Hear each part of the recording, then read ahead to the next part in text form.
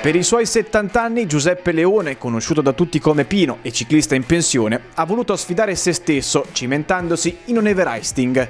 Di che cosa si tratta? Si tratta di scegliersi una salita, verificare che sia presente un segmento che ne rilevi il dislivello e percorrerla tante volte su e giù fino a raggiungere un totale di almeno 8.848 metri, ovvero l'altitudine del monte Everest. Tutto questo per un giorno intero senza mai fermarsi né dormire. L'idea è di circa un anno fa, in tempi di lockdown, quando pensavo che sarei arrivato quest'anno a 70 e mi sono detto bisognerà che inventi qualcosa per i miei 70 anni, che mi regali qualcosa. Cosa di meglio di qualcosa di sportivo, di, un'idea sportiva. Già l'Everesting era una cosa che già invaleva da qualche anno, però di persone di una certa età ce n'erano poche, che io ne, io ne conosco una sola a dire il vero. Giuseppe si è avvicinato al mondo del ciclismo 25 anni fa, all'età di 45 anni. Ha preso parte a numerose gran fondo, praticato tanto cicloturismo e partecipato alla famosa randonnée di Parigi.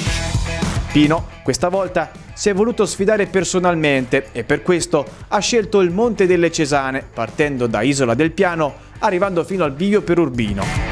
Sabato scorso Leone è stato accompagnato dagli amici e anche dai colleghi della società ciclistica fanese e alla partenza c'eravamo anche noi di Fano TV, scortati dal nostro autista Leonardo.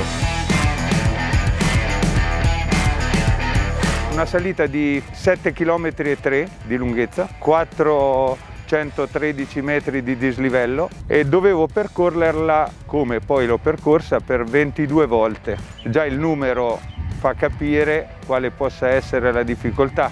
Io ci ho messo in totale fra soste e, e, e pedalata 29 ore, di cui 21 e mezzo pedalate. Le splendide colline e le campagne del nostro territorio hanno reso piacevole a Pino la sfida, ma meno durante le ore notturne. Beh, le, le ore notturne hanno presentato i maggiori problemi in particolare due, il freddo e una foratura. Ed è stata non particolarmente dura, devo dire. Ne sono uscito abbastanza tranquillo, tant'è che finita il, la domenica sera, il martedì sono andato in bicicletta tranquillamente senza, senza problemi. È ripartito per l'ultima tornata.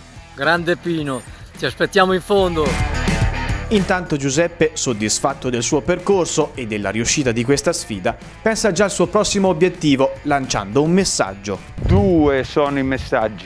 Uno è che a una certa età bisogna continuare a pensare, a fare, a cercare di proporsi cose nuove da fare perché queste ci tengono in vita, cioè ci consentono di rimanere attivi in quanto abbiamo dei progetti da realizzare. Il secondo messaggio è lo sport aiuta, anche in età avanzata, combinato con un'alimentazione sana e una vita diciamo senza grandi eccessi, ma non per questo una vita normale, diciamo, a poter andare avanti con una qualità di vita anche negli anni in età avanzata molto buona.